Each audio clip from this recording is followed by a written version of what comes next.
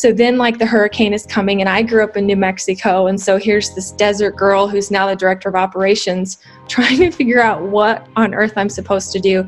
Us being shut down for a few days or a week or a couple weeks meant we might not be able to make payroll we might not be able to pay our bills and so i you know i felt this incredible responsibility to try to figure out how to manage all of that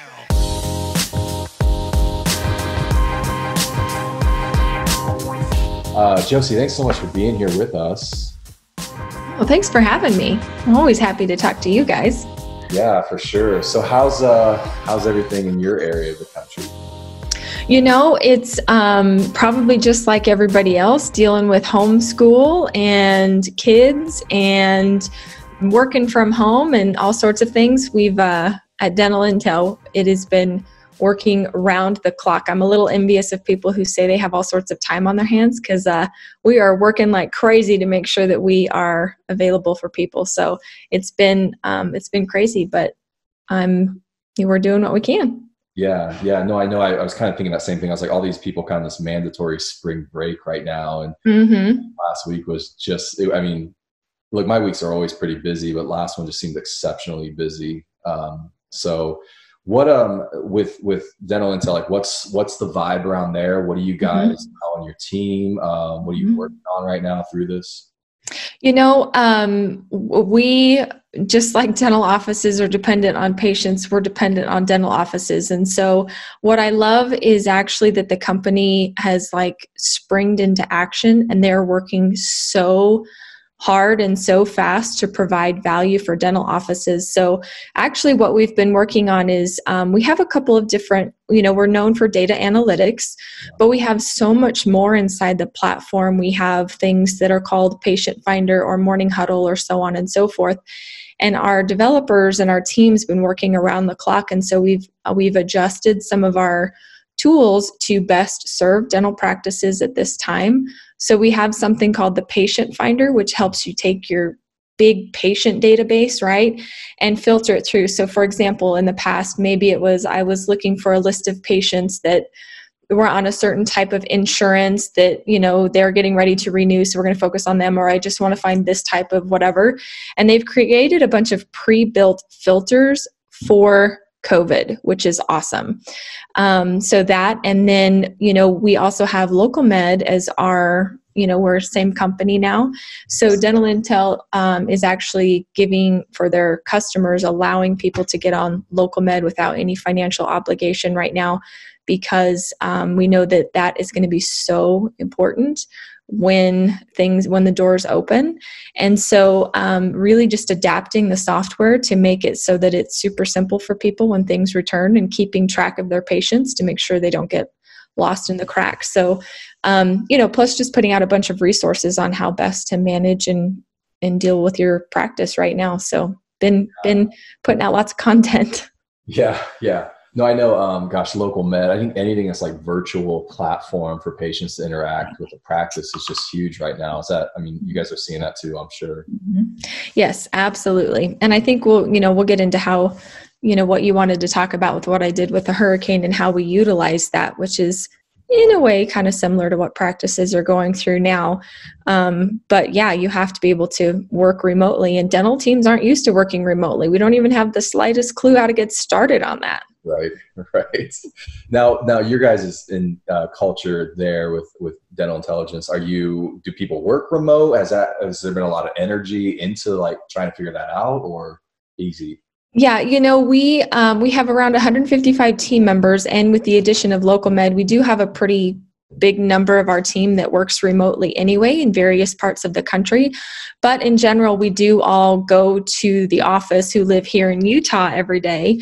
So um, it's been it's been um, a change for us to all work remotely. But you know, just w- we were pretty used to virtual meetings and things like that. But it's definitely puts more strain on it when it's everybody is virtual and trying to figure that out.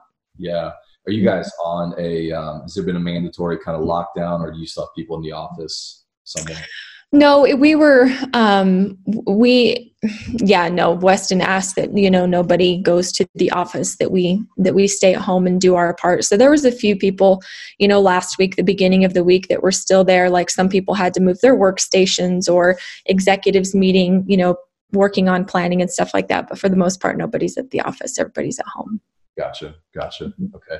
Um, we, we just went on a, I think our governor last night issued a mandatory Wow. So effective at 12 noon today. So gave mm-hmm. time for everybody to get to their businesses and get their stuff. Um, yeah, so we'll, we'll see. We haven't really been out much at all though for mm-hmm. a, a, week. I think we went to the grocery store once. So um, how's, how's the family? I'm sure is, is Ethan just baking a ton? Yes, Ethan is baking a ton. And so now he's making like baking videos and challenging people to like watch his video make two loaves, keep one and give one away to a neighbor that needs it with like the hashtag loaves of love, which is super cute. so no, he's uh he's probably gonna make a gluten free. So tell Joanna he's probably gonna do a gluten free recipe video yeah. this week. But I was trying to think if I you know if I could be quarantined with certain people. Um, I think you guys definitely probably make the list. Even though I've never officially met Ethan, I've just yeah yeah it's not because me it's because my husband's an incredible cook it's fine I think, I think, you play a role in that but you know intelligence only gets you so far then i'm like yeah. but we get, around somebody that's cooking and you know has intellectual mm-hmm. conversation then we're good um, yeah, yeah i've never even met him i have had his cinnamon rolls um, and that was enough to probably put you in the top five of being quarantined with listen i will hang on to his coattails wherever it gets me mm-hmm. yeah so, so Tess, I mean, you you've been through something similar with Carolina's dentist. You guys had a hurricane that you went through. Give us a little bit of just kind of that scenario and situation, mm-hmm. what you guys did to prepare. I mean, obviously a little bit different, but probably some similarities, just disaster kind of response mm-hmm. type stuff. Yeah, so before I was at Dental Intel, I was at Carolina's dentist and was there for several years and played different, you know, sat in different seats on the executive team. And so it was September of 2018, and like literally the week before, I had taken the role as a director of operations. So then, like, the hurricane is coming, and I grew up in New Mexico. And so here's this desert girl who's now the director of operations trying to figure out what on earth I'm supposed to do. So we operate on EOS, right, or entrepreneurial operating system. And so pulled my team together and we just had a massive IDS session. So I had, you know, all of these like big whiteboards and IDS is like problem solving, like it's a format for problem solving and discussion. So we just went through and we listed like all of the things that we were worried about, concerned about, didn't know how to handle. And then it was almost like, what are we going to do before during and after right so i think the you know one of the biggest takeaways is right now people are so overwhelmed with like just trying to figure out especially owners right of their businesses um, trying to figure out what to do. And so being able to like make that list and then say okay like first things first how do we prepare you know for this? And how do we like protect our technology or protect our offices? And how are we going to communicate with our team? So being able to work through that, I think that um, one of the most important things right now is having that regular cadence of communication with your team. Yeah. and um, being able to um, give them you know kind of the state of the union and keep everybody busy so that communication is really really important and establishing like backup plans for your backup plans yeah. But I will say that, you know, one of the other really valuable things that we did within this process in, you know, was a little bit of fear setting. And I don't know if you've ever heard of fear setting. It was actually Tim Ferriss, right, a 4-hour work week okay. has has mentioned this and he says, "You know what? You should rather than we get kind of paralyzed when we're in these situations and we can't move forward because we're so worried about that terrible thing happening. And we actually should talk about what happens worst case scenario. So, what happens if we can't open up until June 15th, like some of these poor offices are? What happens if we have to lay off our team? What happens if we have to file for bankruptcy? What happens? And being able to say, like, okay, if that happens, like, what, how long is that going to keep us down? What's the worst of it? How fast can we overcome that? But also, how can we prevent those things from happening? So, a little bit of context at this time, Carolina's Dentist is owned by two dentists, so there's not like, you know, lots of money supporting it in the background like private equity or something like that. And um, because we had we grew very large practices and we grew very very quickly you know the company was only a couple years old cash was cash is king you know? And so us being shut down for a few days or a week or a couple weeks meant we might not be able to make payroll we might not be able to pay our bills. And so i you know i felt this incredible responsibility to try to figure out how to manage all of that. So having a really good plan beforehand doing some fear setting right? Like what happens if this? Having a plan b and a plan c. Um, just that process of like facing that worst case scenario helps free up your mind. And then it was let's go to work. Let's figure out what we can do. And in those moments we were super creative. And so um, what we did is we were closed for a couple of days. We made sure that we were updating our team all along and we could reach them and they could reach us and ask any questions. We were very honest about what was happening with the company and what the reality was because people want to know what reality is. Even if they don't like it, they want to know what it is.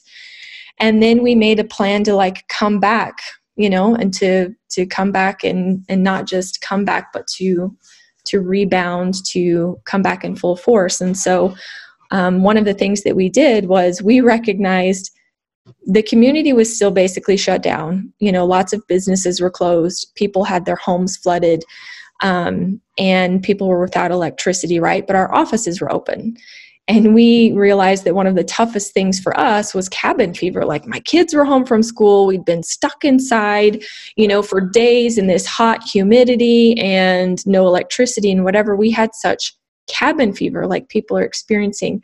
So we decided to do this campaign where we were like, let's get the kids out of the house, let's get mom out of the house so we sent out across our social media, like, hey, we have air conditioning and electricity and bottled water, and we want you to come and we want you to bring your kids, and we'll watch your kids while you get your teeth cleaned, and, and then we'll take care of your kids. So we utilized dental intel. We used we utilized the patient finder, and I made a list of all of the patients that were 18 and younger who had insurance benefits remaining who were due for hygiene. We created those lists. I sent them out to the team. They utilized LocalMed and dental intel to follow up and they would send like an online scheduling link so the team still worked remotely and what happened was you know with being super creative with technology and leveraging our team we were hit in late september but october ended up being one of like the best month that we had had okay. um, so i think that it's normal is out. And we have to be creative you know and what and how we're going to come back. Yeah. What did, um, how long were you guys shut down for then? We were shut down. So one office was shut down longer than the others. Um, so i mean nothing like for poor covid but it was six days for one office and three to four days for the other offices. Gotcha. Okay. Mm-hmm. Did you guys see? Did things bounce back pretty quick, or was it was it like a two to three week kind of just gradual ramp back up? Um, I mean, we put a lot of effort into it, but it was definitely, you know, patients. Many of them, you know, were struggling. Like wondering, you know, like my house is falling apart because it's flooded or whatever. So there there was a little bit of a slower ramp up in those first few days, but actually what we found was a lot of people were really anxious to like get back to normal life. Mm-hmm. You know what I mean? So it was like where we felt the first couple of days actually that there was still this like heaviness yeah. of what had happened. And what I really appreciate about um, Dr. Eric Roman, who was the visionary at that time of the company, is he said, you know what, guys? People want normal life so bad right now. Like they're so ready to get back to normal let's get them back to normal. Let's get them in, have a dental appointment, you know, get your teeth cleaned, get things taken care of. People want to get back to normal, and we can provide that sense of normalcy. Yeah, yeah. No, that's great. I was just even um, last night. Uh, Trump got on and was was talking. Um, you know, it's kind of his nightly address now. And um, but one of the things he talked about is as soon as this starts to bounce back, like we're actually probably going to see this contr- this expansion, like this contraction mm-hmm. now within an expansion, because everybody's going to be so much pent up, just like demand for the economy. I mean, mm-hmm. at, some point, people are going to want to go out and just spend money on something because you know, the, just the feeling of I bought something um, is going to be crazy. No, but I, I, love what you said about fear setting. Um, and Tim Ferriss, yeah, he kind of walks you down that path of like, what's the worst thing that can happen? Mm-hmm. And how, like, if we don't, if that's a mystery, we fear it. But if you can actually name that and kind of walk through yeah. it, mm-hmm. it takes a lot of that anxiety out of it, um, which I think mm-hmm. is really, really interesting. We had um, we had a big restaurant uh, group here in Columbus. Uh, Cameron Mitchell, who's kind of like this beloved entrepreneur, restaurateur of Columbus tons of, of restaurants, but they um he was on CNN. They shut down. Well, that Monday, all the restaurants closed. Mm. They uh, laid off like sixty percent of their workforce, and he said, "Let's try and do the carry out uh, delivery thing." They did it for three or four days and realized it wasn't going to be a sustainable model, so they shut everything down. And he basically was like, "We went into this worst case mode of we need to come out and reopen in three months and so or three or four months or whatever. And so like what are we gonna do? Yeah. Um, and i think it was interesting because i think he walked through that like worst case is what if we just did nothing and with the hope of coming back out of it? So um, how what are some keys to communicating with your team during this time especially knowing now that it's almost going to have to be remote Yes. Um, great question. You know, for us, we had a large team. So we had at that point probably 180 team members. Okay. And um, we actually utilized, we created a secret Facebook group. Okay. And, you know, so patients can't find it. You have to approve people, right? And so we would do Facebook Lives in there people would ask questions we would share things you know we would talk about um, which offices were open or closing or whatever because we're all connected on facebook we found that that worked really well for us yeah. um, so making sure that you have a platform if it's a small team make sure that even if it's like a group thread you know um, is important or utilizing i think the more that we can leverage video and we can see you and we can see your facial expression rather than just like in a text message. I think that being able to see each other is really important. So, getting over the weirdness of like being on a Zoom meeting or, I mean, even like Facebook Messenger, you could do, you know, like a video call or FaceTime. Yeah. So, I think that team messaging is important, making sure that you're doing that. But I also think those one on one check ins are are are really important. So we had like an entire like communication tree, right? So if it was like you know, we had to share something with somebody, who are the five people we share it with and then who do they share it with and it was all assigned and we had, you know, like very specific accountability to make sure that everybody was reached. And so sometimes um, I think we have to remember it's not just updates that we need, but it's just checking in with each other. You know, I appreciate my friend Sarah sent me a Marco Polo this morning and was like, "Hey, haven't seen you. Like mental health check. How you doing? How you hanging in there?" And I think that we have to we have to do that. But uh, you know, a combination of the video, the texting, the you know, even if you're typing something up, like what your plan is, yeah. like a one page, like here's what we're how we're going to attack this, um, is important.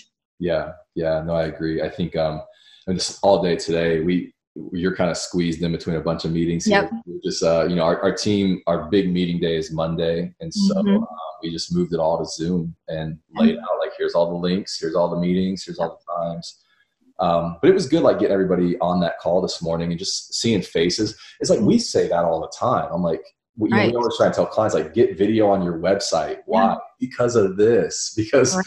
like it just connects you know and now we're we're seeing that for sure um, we are doing a daily, like, we still do a daily check in in the morning video call. It's super fast, even like 10 minutes. Like with the whole team or just like, with, so with our, like, with our little department. Gotcha. Yeah.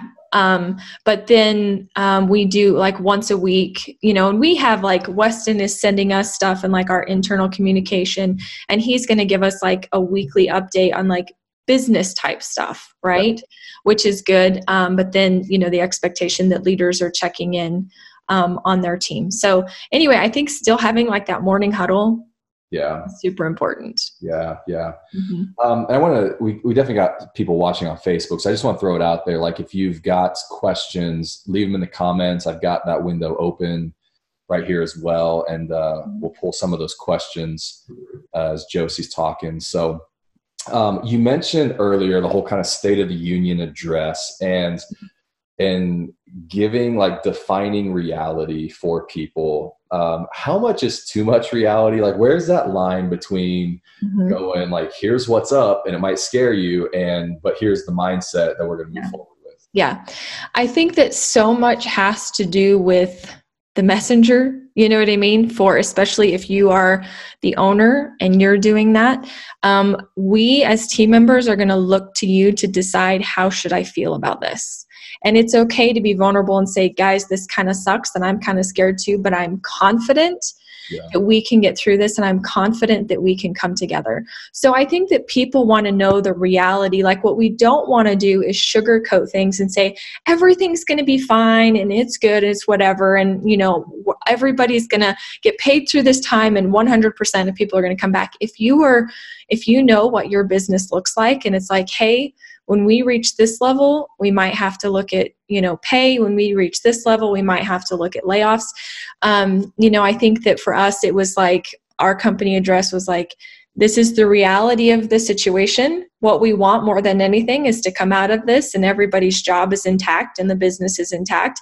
But just know that depending like with each passing day we have to take a look at what are the expenses of the business and how best can we do this. So um, what I think is really interesting here is that um, this this is like if we were playing a card game and we all knew where everybody was in relation like who's in a good position and who's not and who's got all of their chips i think that we're now playing a totally different game like we still have our cards mm-hmm. we still have our talents our skills you know what i mean our resilience we still have our knowledge our education but this is completely changed. Like the game is different. We're playing a totally different game and i think that this could be the greatest opportunity of our lives. It could be the greatest opportunity for the dental industry because as things have fallen apart we have the opportunity to help put things back together. And so um, you know there are team members who maybe they've lost their job they're reevaluating who do i want to work for? What's the type of organization that i want to commit to?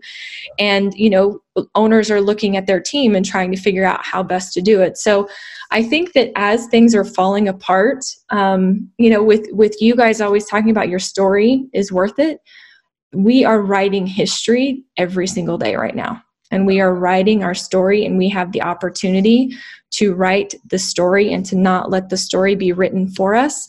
And um, it's just so important that we are more aware and more present and we're not letting fear take over but we're methodically going through the decisions that we have to make and trying to put things back together in a better way.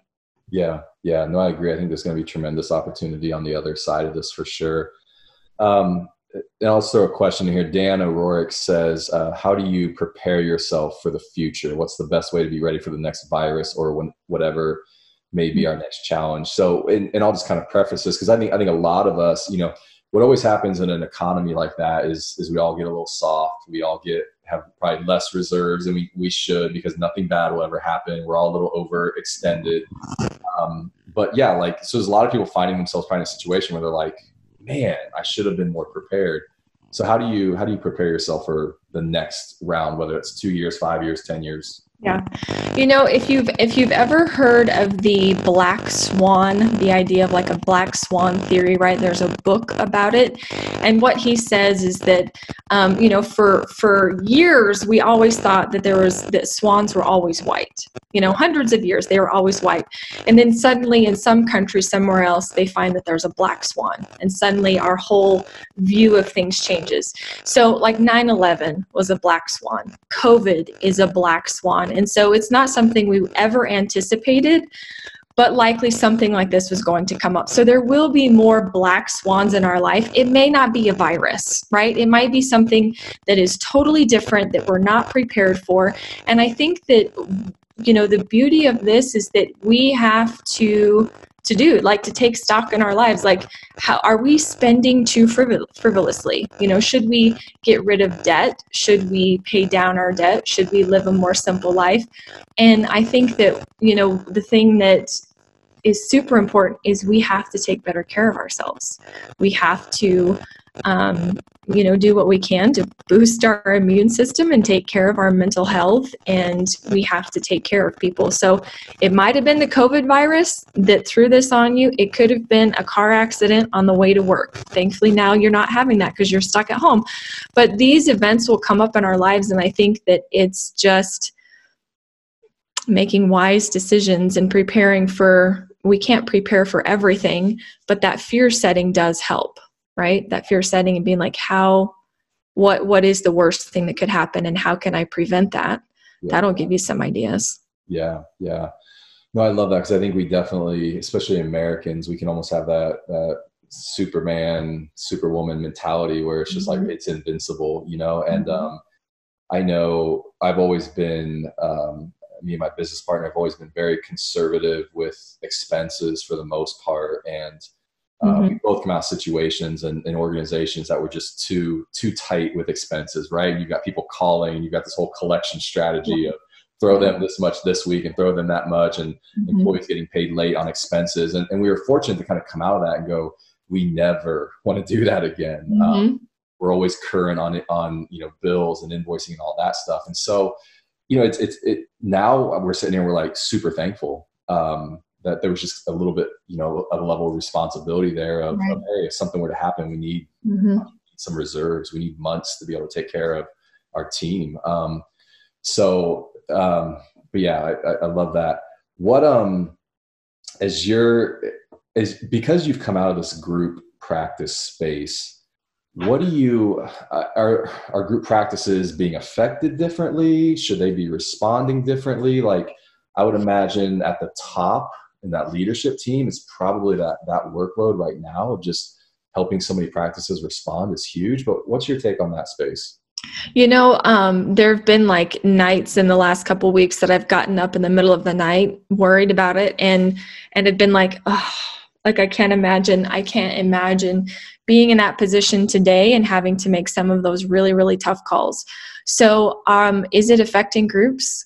Absolutely. I mean, I have friends that are running groups that they're laying off 60 to 75% of their team right now. And so, um, yes, I, it does affect them, you know, depending on, uh, you know, are they backed by private equity? So they might have a little more reserves, but what is, you know, what, what is the comfort level in the churn rate on the cash and things like that. So um, I think that some groups probably have a better buffer than maybe some of the single practices.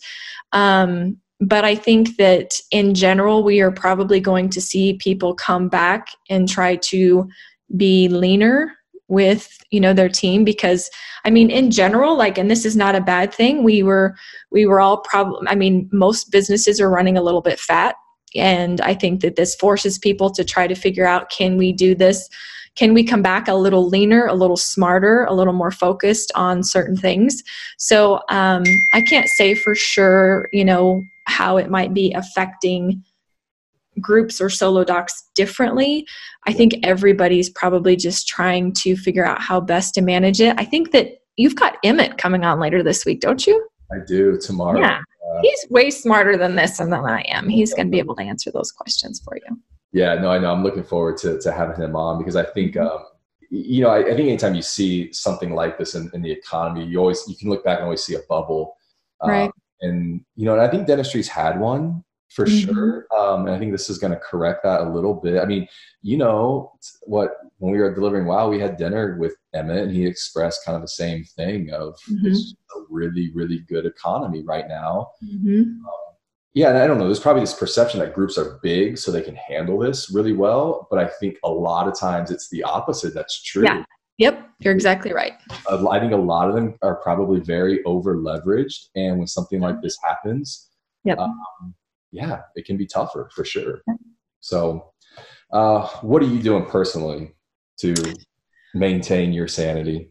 You know, um, I definitely have done some fear setting myself, right? Where it's like, okay, worst case scenario, what happens if Josey loses her job? You know, what happens, you know, and um, I, that has been helpful. But establishing like a family routine has been super important. And so, you know, I'm down in the basement working right now, but I have to make sure I get out of the basement and go get some sunshine. And so, in during the day, like even if it's just a walk around the neighborhood, I'm getting outside connecting with my kids. We're playing more games. So rather than like watching TV or whatever, we're trying to play more games.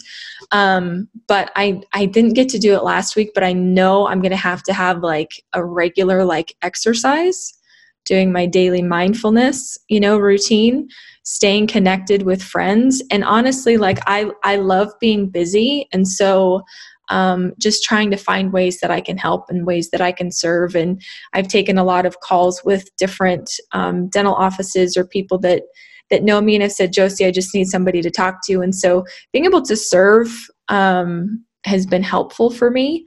Yeah. Um, and that's a big deal. But I think just trying to be really mindful of the basics, you know? Yeah.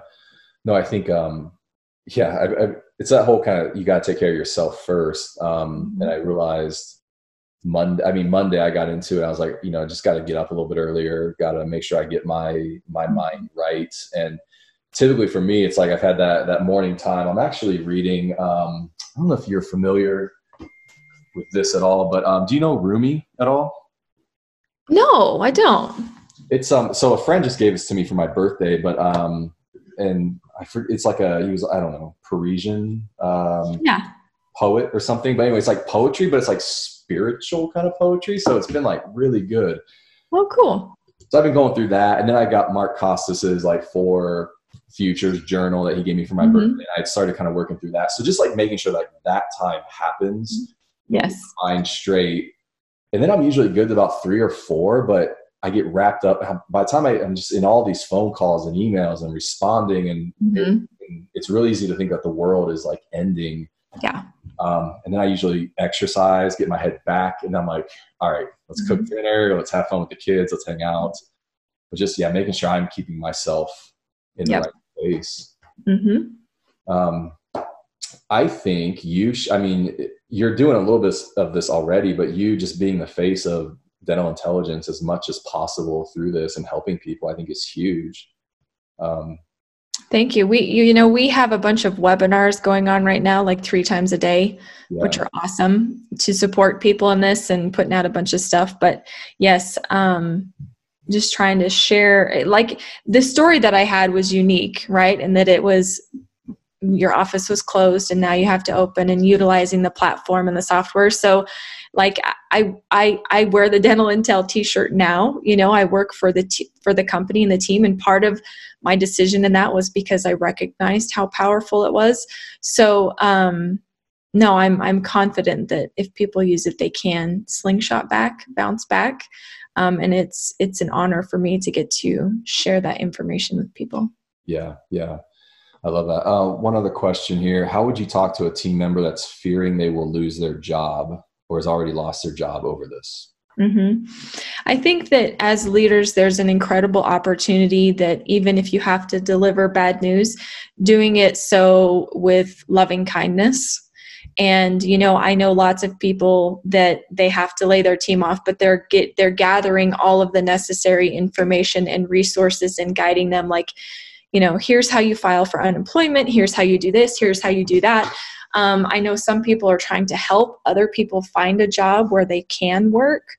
Um, so I think just loving people with that. And, you know, we can't, depending on the situation, like if you've got plenty of financial reserves and you can tell a team member, like, listen, as long as, you know, we're working together, we're going to be fine, we're providing value, we're going to get through this.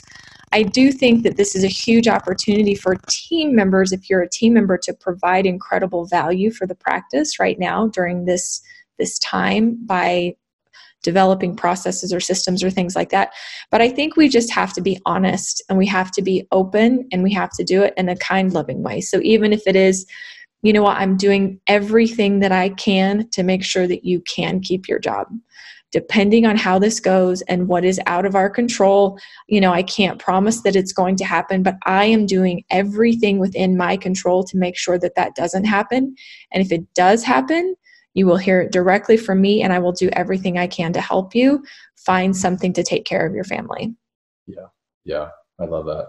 Um, what's been the the response there in in Utah? Like, are most practices were they immediately shutting down and laying off their team? Are some of them looking at it like a two week break, or like what's what's the vibe there?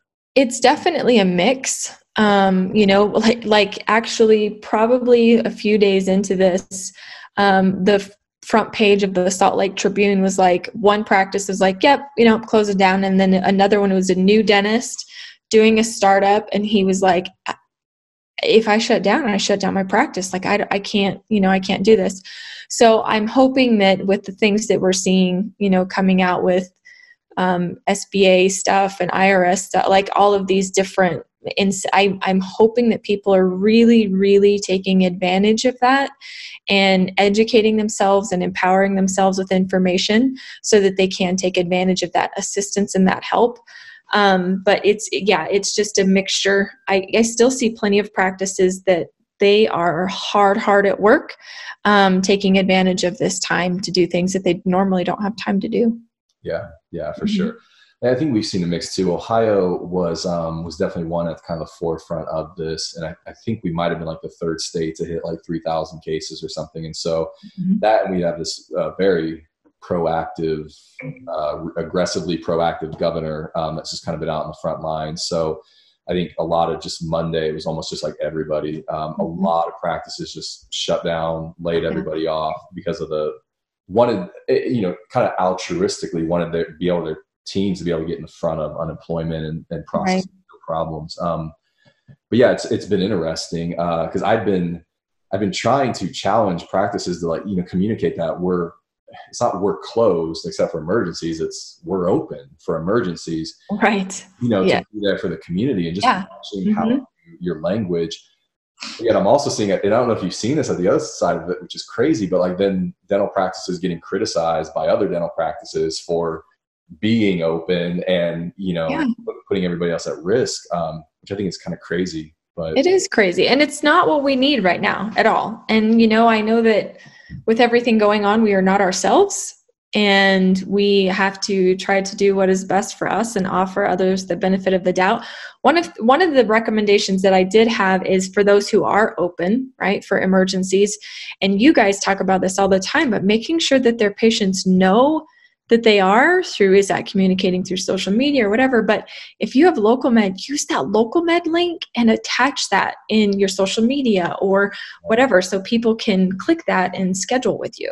Yeah yeah and that's smart for sure. Um, cool. Last last thing i'll just kind of circle all the way back to is you you originally started talking about this idea session that you had with your team when the hurricane came through and, and I love that. Uh, we we did that with my team Monday, um, last Monday, just kind of going, hey, here's what's up.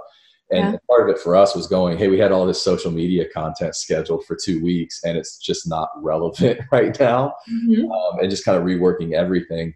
But I know as a leader, as a business owner, I felt overwhelmed with what are we going to do. But once I kind of came through those team meetings, yeah, got them involved, like it was just, was like, okay, we got this. Um, so how do you? I, I, know there's probably a lot of dentists and business owners in that situation where they're just they're probably feeling overwhelmed, like they have to solve everything. But how do you get your team involved in this through this time and go, hey, I, I need you to step up and let's all share a little bit of a load. Mm-hmm.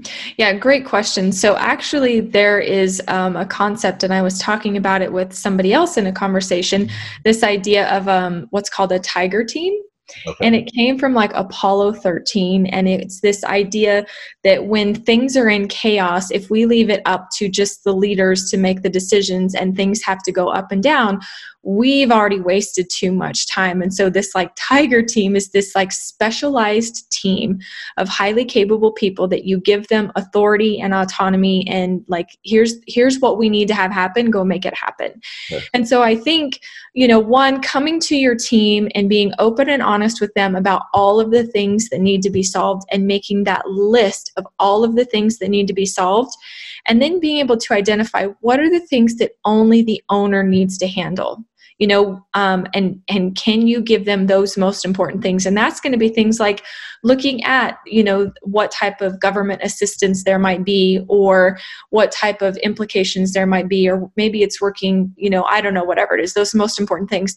But then who are the appropriate people to delegate the other things to? So like if an office manager is the one who's responsible for identifying and figuring out how they're going to work with vendors if they're the ones that are you know going to communicate with the team if it's your hygiene team putting them together on a project of how can we how can we make sure that when we come back hygiene is going to be packed full with like the right patients and the best patients. Yes. so learning you know having their team learn things like how do you use dental intel or LocalMed or your patient communication software? Like taking the time for them to become experts and then sharing with the team and making recommendations on the process what's nice about what's happening with all of this is um, we're all fighting for the betterment of of our industry, of our job, of our practice, of our office.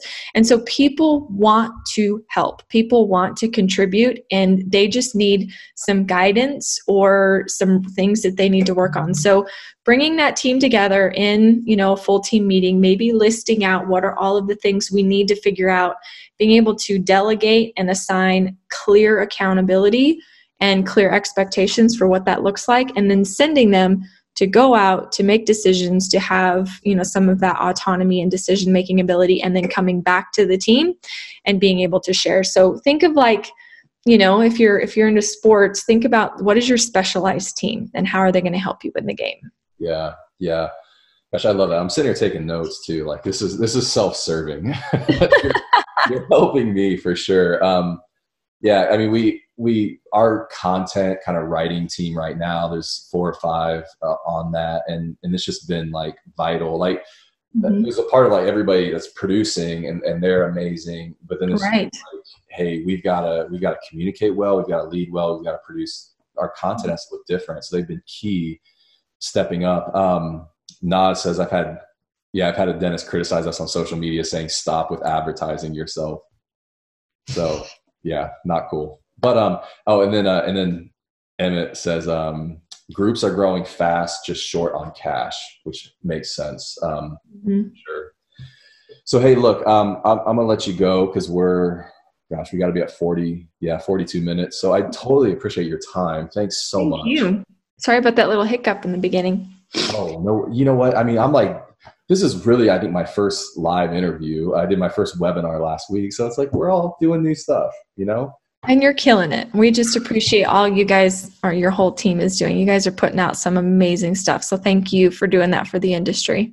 Oh, you're welcome. Um, you know, if you need anything, you know, let me know for sure. Um, look, I, I, think you have such a great voice right now. Uh, I just encourage you to like get out there as much as you can, represent that company, be the face of that company, just take it over and run with it. Thank you for that. It's a nice compliment. um, yeah, no, and I yeah, I appreciate you jumping on. I know we were in um well, you bailed on us in New Orleans the last night.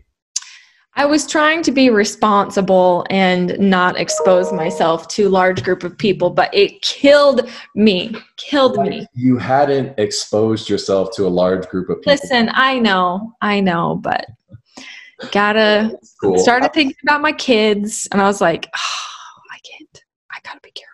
No, that's fair. That's fair.